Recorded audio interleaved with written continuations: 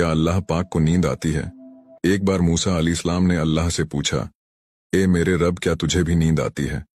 तो अल्लाह ने मूसा अली सलाम को हुक्म दिया कि जाओ अपने बराबर दो शीशा लेकर आओ। तो मूसा अली सलाम शीशा लेकर आ गए। फिर अल्लाह ने मूसा अली सलाम को हुक्म दिया, इसे लेकर खड़े रहो। तो मूसा अली सलाम शीशों को लेकर खड़े रहे। और काफ़ी वक्त गुजरने के बाद मूसा अली सलाम को नींद आ गई और शीशा गिरकर चूर चूर हो गया।